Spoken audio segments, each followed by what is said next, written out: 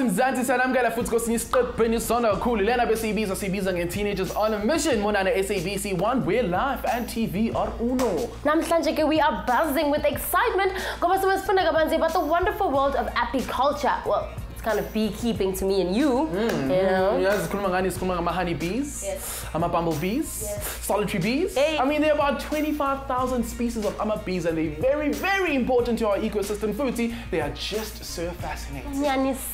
They pollinate over 70 of the 100 crop species as ezikhoyo that give us food. Mm. 90% of our food. Yeah. cabanga nje now bafethu i-pollination isuke ichaza ukuthi ama-bees they fertilize ama-plants so basically what happens is ne ukuthi bathatha i-pollen from the male side of the plant Alright. to the female side of the plant and by so doing ama-plants ayakhula ama-flower ayakhula uyayibona leyo nto are you ready for today's show are you ready well let's get buzzing Bzz.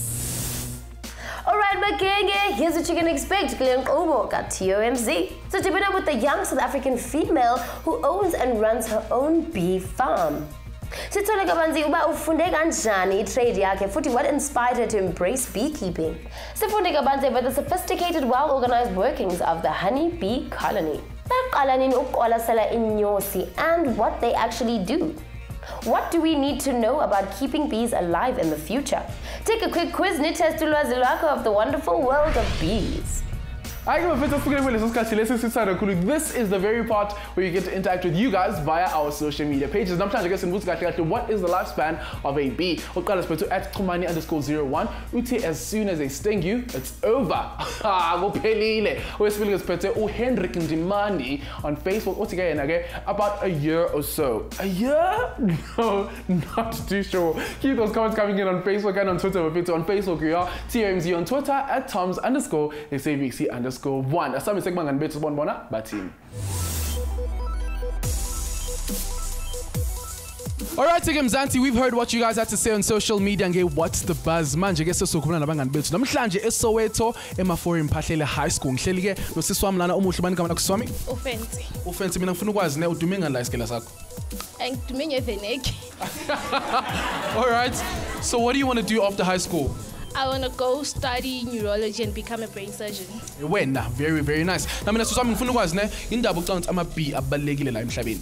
Um ngicabanga ukuthi ama-b abalulekile la emhlabeni ngoba they help provide the nation with food for example ihoney and then they also play a part in making pollination possible. Na if ama-bees engaya extinct khona manje ne? What would happen? Hey, life never be tepa ke obvious di-biscuit tsa rona re batla honey.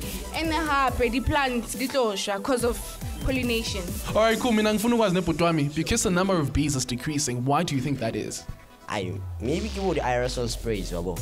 Aerosol sprays Alright, cool, but Tommy, aerosol sprays.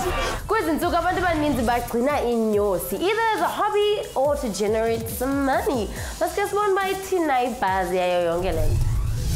Beekeeping for beginners. Apiculture, okanye beekeeping, is the maintenance of honeybee colonies kwi-hives in order to collect ihoney yabo. A beekeeper, okanye i-apiarist, must understand the basic structure of a honeybee colony. I-beekeeping idinga i-beehive, indawo elungileyo for lo beehive, a full set of impahla that protects you, and the basic tools which are a hive tool, a bee brush, futhi smoke. Ngo-1538, i-honeybees zase-Europe zokuqala were imported to South America by the Spanish. It was only in 1700 though that it was understood that inyosi gathered the nectar with which honey is made from, from flowers. Ngo-1835, uJohann Dzierzon, i-apiculturist yase-Poland, discovered that drones are produced from unfertilized eggs. Ngo-1838, he devised the first beehive eyavumela i-honeycombs to be removed individually. Njengoba niyazi ke inkqubo namhlanje is all about the busy, busy world of bees, and I must say it is very busy. Did you see what I did there? When you ask ukuthi indlu yenyosi is actually called a nest, hayi a hive. A hive yenziwe ngabantu and is there to extract honey. Mm, and ke usakhuluma nge-honey kanjalo ne wazi ukuthi kahle kahle a honey bee eyodwa ne kahle kahle yazi yona iproducer ngakhe one twelfth of a tablespoon in its life. Yeah. So if you do the math, nah, it'll take about 550 honeybees visiting 2 million flowers just to produce half a kilogram. Yeah, Wow. honey. Tell us what your thoughts are on Facebook and on Twitter, and we'll see you on the flip side of this. Bayasebenza ne? Tums.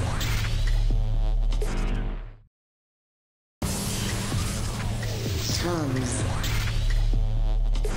Alrighty, my friends, welcome back to TMZ watching SABC1, Real Life and TV R1. Now, today's buzz is all about the bees. I want to know one thing though. What's in the name about Why are my bees a buzz? No, I actually don't know. Tell you what, I want my bees, uma epape moyen, like their wings are just going so fast and flapping so fast, and that's where the sound actually comes from. Okay. Bzzz. Ah, I get That's you. all. Oh, genius indeed. But again, they're so chilled. Like, they're so chilled, mind their own business. But if you aggravate them, then I mean, they're gonna have to get aggressive, you know? So, yeah, just don't, don't. No, Kokolos. Absolutely. Eh, when I get lapeka, uma o allergic, it's best that you get medical help really, really fast. But again, if you're not like myself, then yeah, kuzoba buhlungu, kodwa ke it's not really dangerous. Ngoba mathi yazi bathi ne, an average human can actually withstand a thousand bee stings. What? A thousand. okwamanje ke bafethu ahlangane ke nomunye umuntu ozoshaya nje ngento eyi-1 eyi-2 asibuze kahle kahle le nto le ihamba kanjani make sibhekeni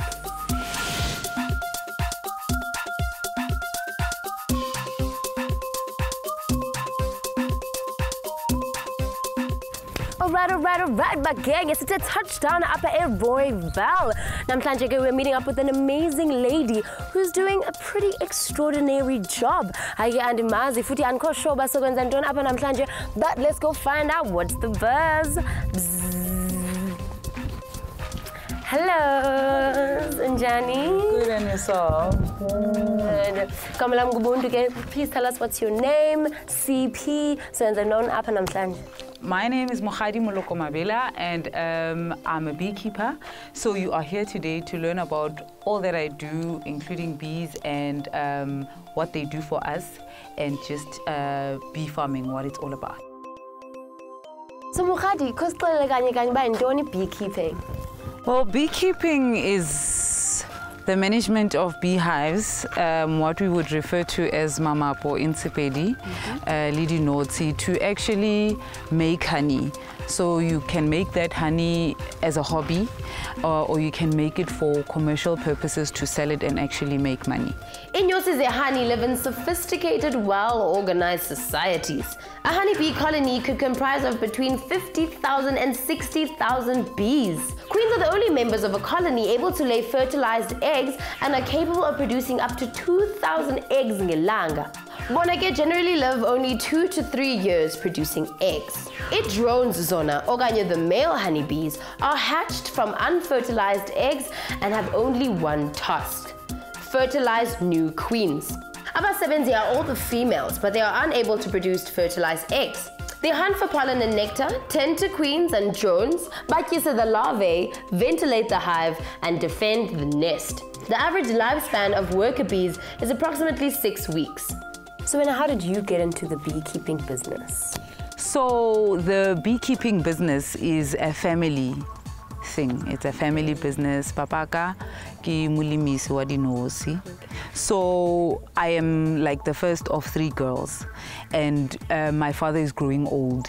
So we started to then wonder, in the event that he dies, you know what's going to happen to all his hard work because he's got all these beehives all over the place. He's got all these relationships all over the place and all these uh, shops and clients that he sells to. So it would be such a tragic loss, um, not only with his life having gone, but also with his business then just falling in the cracks. So I need to business e leng gore e tlo deala ka what my father is doing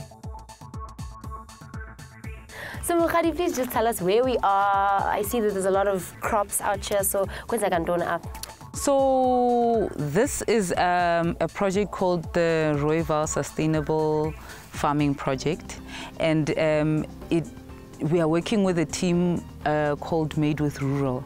Made with Rural, ba krea balimi, preferably young uh, farmers, who are actually uh, planting and are active farmers.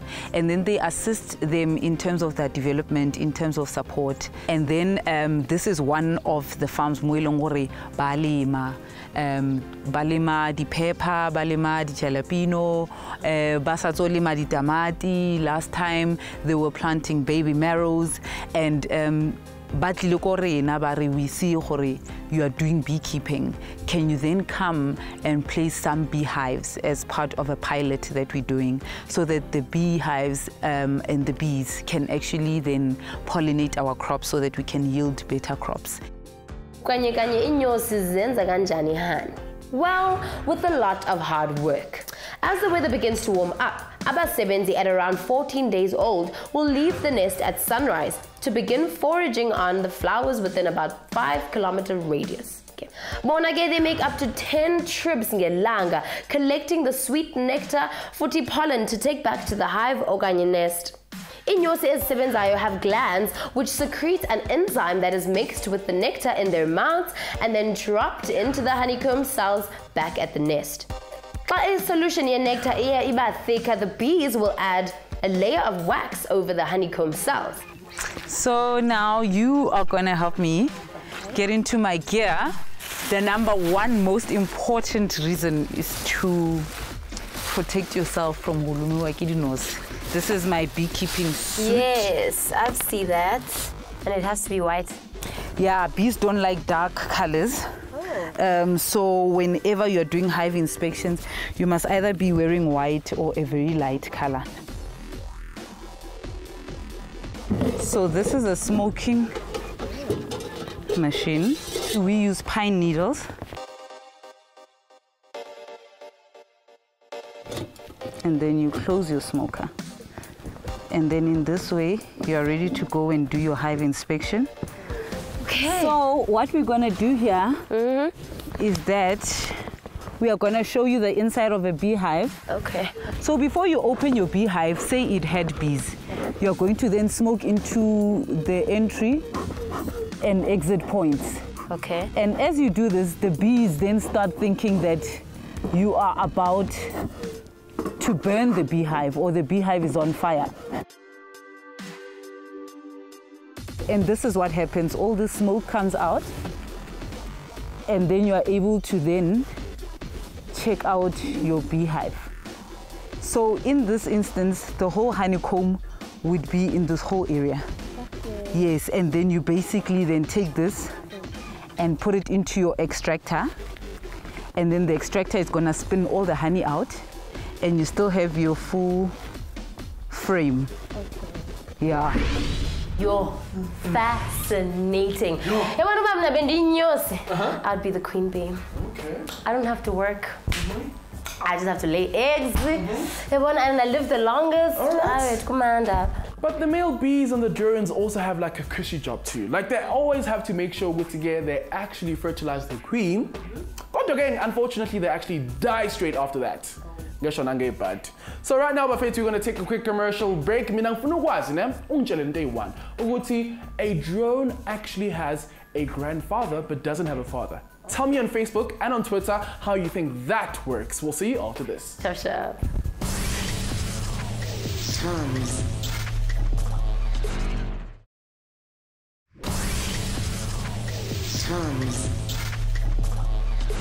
Alrighty, my friends, welcome back to TMZ Mona na SABC 1 Way Life and TV at Uno. Now, before the commercial break, my friends, umbuze umbuzo kahle kahle kwenzeka kanjani ukuthi a drone, a male bee, has a grandfather but doesn't have a father. Buntu, I want to know, did you figure that one out? I did. Okay, okay. And ready? Okay, mama, like Cool, cool. a drone is hatched from an unfertilized egg. Oh, okay. Tidikuti, it has a mom, the queen bee, but no dad. Then the, the mother, which is the queen bee, Mm-hmm. is hatched from a fertilized egg, so it has both parents. So the drone is chilling with a mother, no father, and a grandfather from the mother's Ow, 100% correct. Hey, ngiyakufundisa nengikufakelani ngifake esikoleni. Right. Okwamanje ke bafethu ngihlangana nentokazi ukuthi umkhulu wakhe wafundisa ubaba wakhe. Ubaba wakhe wafundisa yena about what i beekeeping. And right now she actually has a bee farm. So, let's bzzz into this.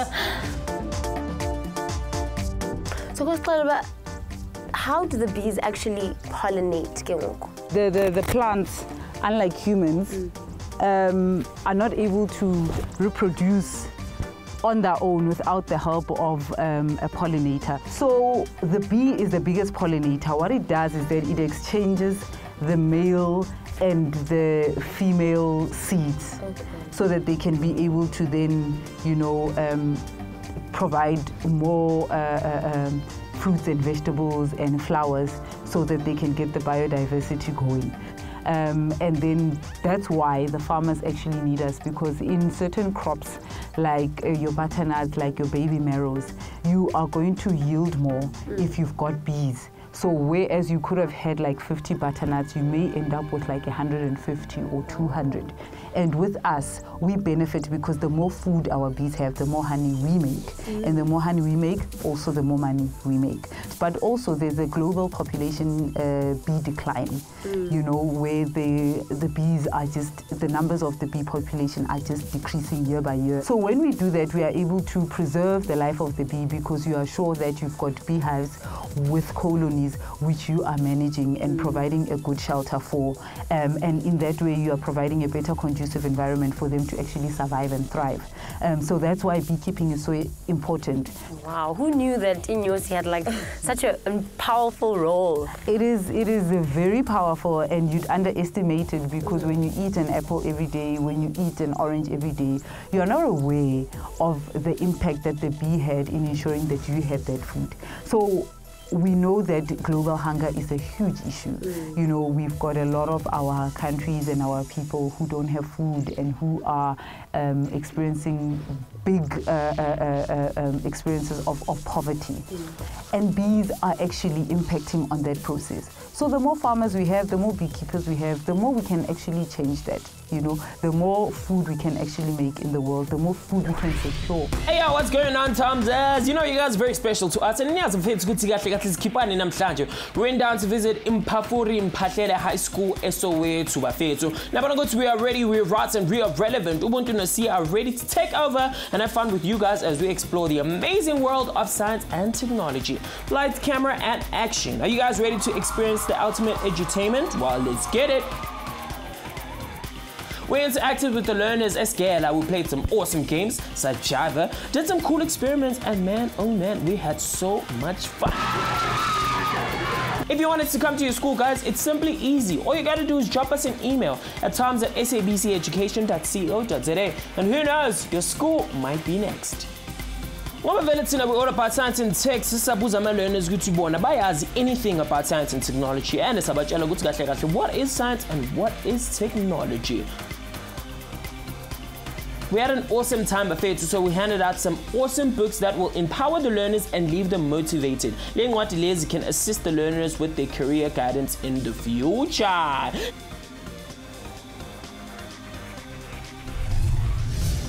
What do bees collect from flowers? Is it A, honey and pollen? B, nectar and other insects? C, nectar and pollen? D, sugar and nectar? Press the buzzer if you know the answer. We tested their knowledge in the Team TOMZ challenge buffet, your where we saw Team A winning the first round. And C is indeed correct.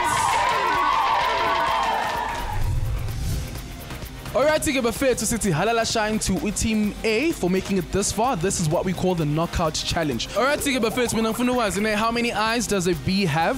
Is it A, two? Is it B, five? Three simple eyes and on top of its head, and two compound eyes, or C8, D12. Press the buzzer if you know the answer right now. Alright, my boy, utubani answer yakho? Upi, Uthi answer P. sure, Usho kangakanani? 100% sure. Alright, cool. Asibone mafethu if that is the correct answer.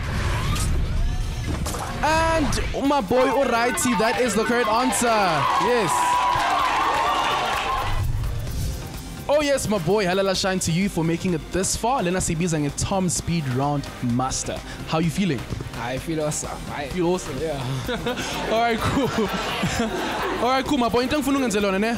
Ungishayele the very same pattern kodwa kwinduku ehlukile ne. Angiyifuni enkulu on top of a small one. You have 2 minutes to do this. Kodwa uzama phela ukushaya isikhathi yabo sibuka ukuthi kancane yebo leyo nto. Alright, cool. Isikhathi sakho ke siqala right about njengamanje.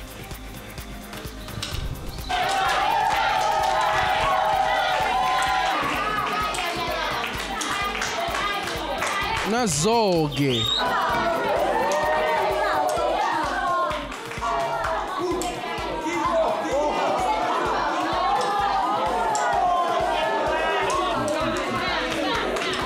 A minute gone on the clock, Assam.